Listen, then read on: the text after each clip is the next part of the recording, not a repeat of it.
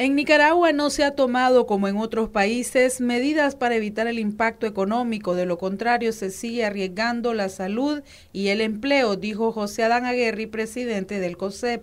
Si ustedes van a las páginas del BESIE y ven eh, en el área económica qué es lo que está haciendo el resto de la región en relación a cómo apoyar a las empresas, eh, se van a dar cuenta de que ahí, tomando en cuenta lo que está pasando en Centroamérica, Argentina, Colombia y México, y vemos las medidas fiscales, las medidas monetarias, las medidas de reactivación económica que se han tomado en estos países, en Nicaragua prácticamente no hemos iniciado el proceso.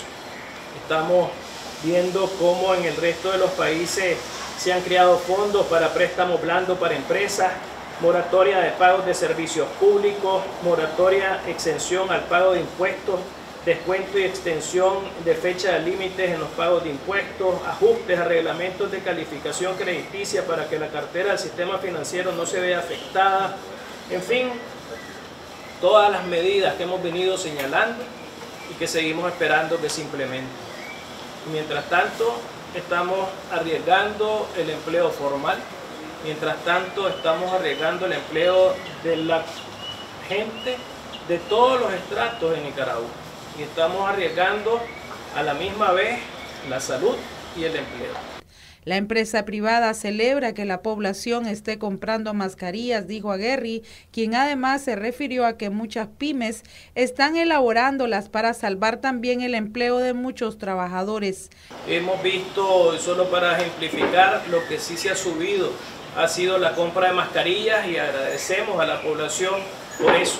En el sector privado hemos hecho esta semana una campaña para eh, decir cómo se deben de usar las mascarillas, eh, dónde se deben de usar las mascarillas y afortunadamente vemos que lo que nos informan es que sí se están comprando más que nunca mascarillas y que se está teniendo el acceso a mascarilla en el mercado para que la gente siga haciéndolo. De hecho, esta semana quisimos destacar esfuerzos que han hecho pymes nicaragüenses, donde están haciendo mascarillas reutilizables y hemos dado a conocer esos esfuerzos para poder generar empleo, que no cierren estas empresas y que atiendan desde ese punto de vista la pandemia y ayuden a mitigar la pandemia. Aguerri mencionó cuáles rubros económicos están más afectados en estos últimos dos meses de pandemia.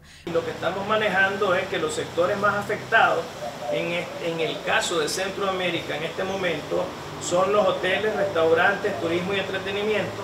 En segundo lugar, automotriz. En tercer lugar, bienes raíces. En cuarto lugar, telecomunicaciones, construcción, zona franca. Y así vamos viendo cómo todos los sectores están afectados, eh, menos en este sentido eh, el sector menos afectado. Obviamente, en primer lugar, es la administración pública, porque recibe de los impuestos de los nicaragüenses eh, el pago de su salario.